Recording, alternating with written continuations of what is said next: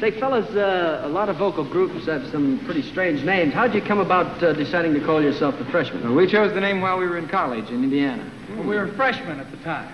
Oh, I get it. Mhm. You better get uh, to singing something. What are you going to sing tonight? Well, uh, why don't we do the tune we rehearsed? It's a good idea. We'd be in a lot of trouble otherwise. Go, boy, go.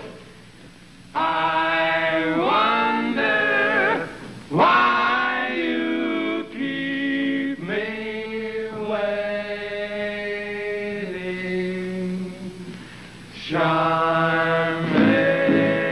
Charmaine, my Charmaine.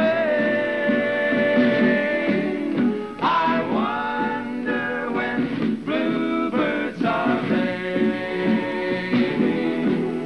Will you come?